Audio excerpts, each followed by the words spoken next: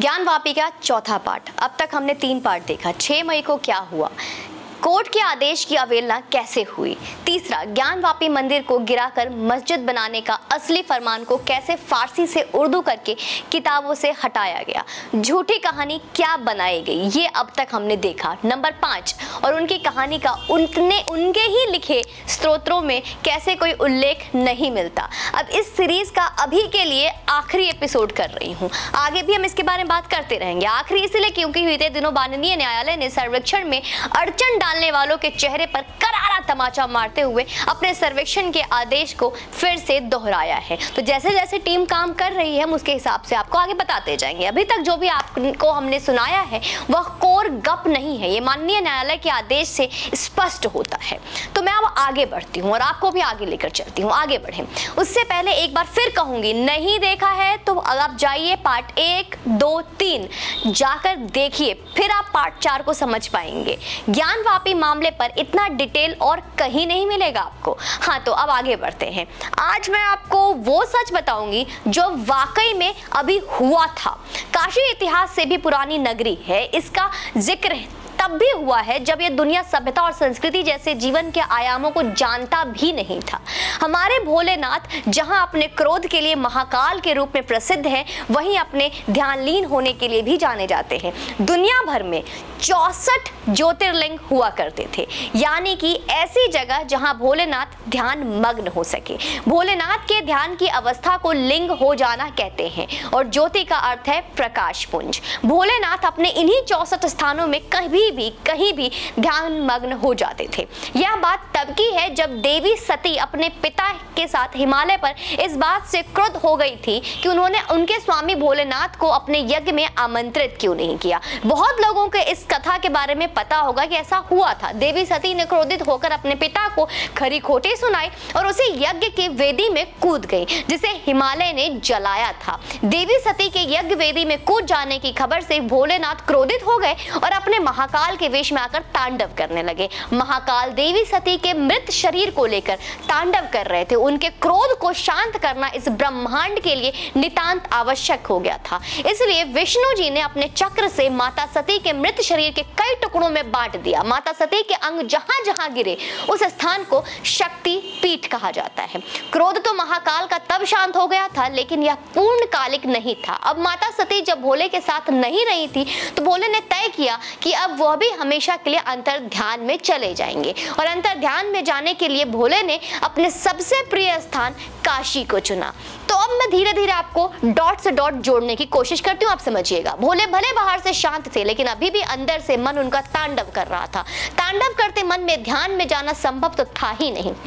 ध्यान में जाने के लिए मन का शांत होना आवश्यक था और शांत होने के लिए जल की आवश्यकता थी। तो उन्होंने अपने त्रिशूल से एक स्थान पर, त्रिशूल से एक स्थान पर जल का स्रोत बनाया।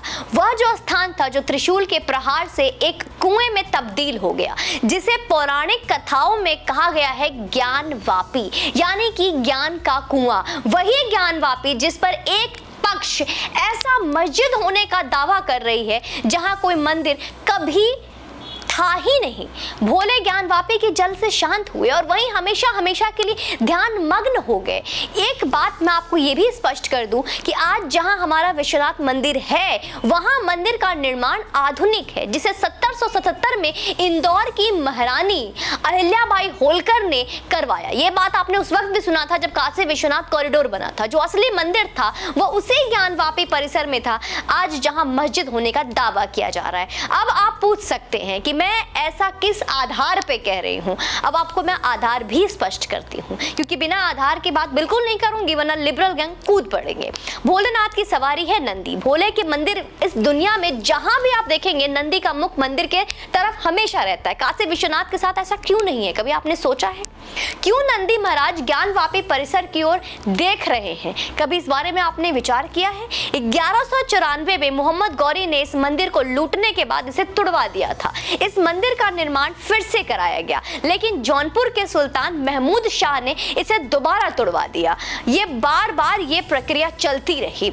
साल सोलह में औरंगज़ेब ने जब एक फरमान जारी किया, जिसके बाद उसने काशी विश्वनाथ मंदिर को ध्वस्त करके मस्जिद का निर्माण कराने का आदेश दिया, जैसा कि मैंने आपको शुरू के पार्ट में बताया था, क्योंकि उसके सबूत भी मिले। वही कुछ इतिहासकारों के मुताबिक ज्ञानवापी मस्जिद को चौदहवीं सदी में जौनपुर के शर्की सुल्तानों ने विश्वनाथ मंदिर को तुड़वा कर बनवाया था। आप सोचिए कि कितने बार ये मंदिर को तोड़ा गया। मैं कृष्ण के कर्म सिद्धांत में अटल विश्वास रखती हूँ और यह सिद्धांत कहता है कि केवल बाहरी भौतिक कर्म ही नहीं, बल्कि मानसिक विचार भी उसी अनुपात में आपका फल देते हैं।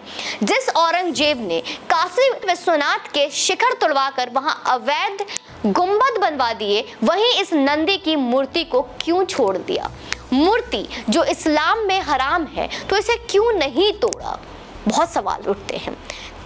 ना सही औरंगज़ेब बाद में मुस्लिम को तोड़ सकते थे, हटा सकते थे, पर ना तोड़ी और ना हटाया। क्यों? ऐसा क्यों हुआ? मैं आपको बताती हूँ। हिंदुओं को जलील करने के लिए, हिंदुओं को बेइज्जत करने के लिए, अपमानित करने के लिए कि देखो, इस नंदी को, अपने भगवान के प्रिय गण को, जो हमारे अल्लाह के सामने अपने स्वामी के इंतज़ार में बैठा है और सदैव बैठा ही रहेगा।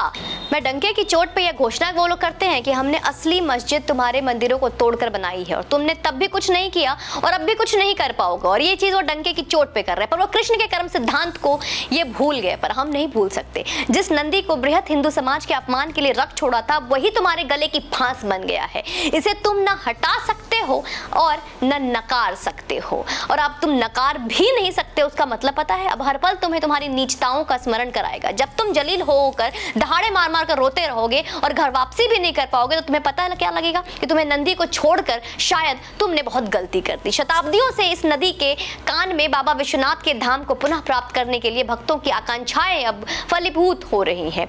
पापी मलिच्छों, तुम्हारे कर्मों का चक्र अब पूरा हो चुका है।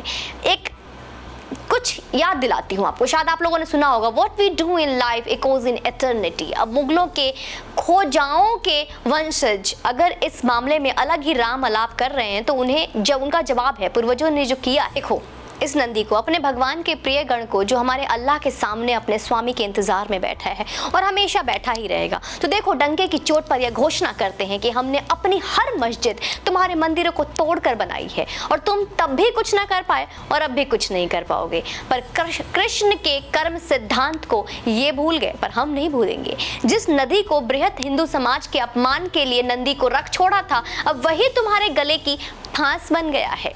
इसे तुम ना हटा सकते हो और न नकार सकते हो। अब हर पल तुम्हें तुम्हारी नीचताओं का स्मरण कराएगा। और जब तुम जलील हो होकर दहाड़े मारकर रोते हुए मरोगे या घर वापसी करोगे, तब तुम्हें पता लगेगा कि तुमने नंदी को नहीं, अपने काल को रख छोड़ा था। शताब्दियों से इस नंदी के कान में बाबा विश्वनाथ को धाम का पुनः प्राप्त करने के लिए भक्तों की आकांक्षाएँ अब फलीभूत होने जा रही है।